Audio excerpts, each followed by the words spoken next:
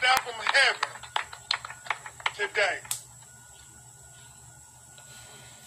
But the first thing I will say is thank God that Kentucky Attorney General Daniel Cameron did not get the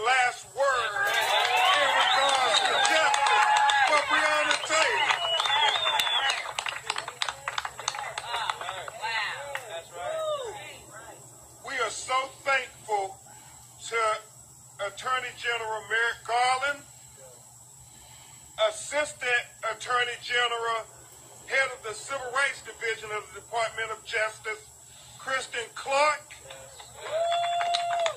and the attorneys on their team and the local FBI agents who Lonita and Sam just kept acknowledging over and over again. They worked tirelessly for over two years, my son, every day, saying that we're going to go wherever the facts lead us.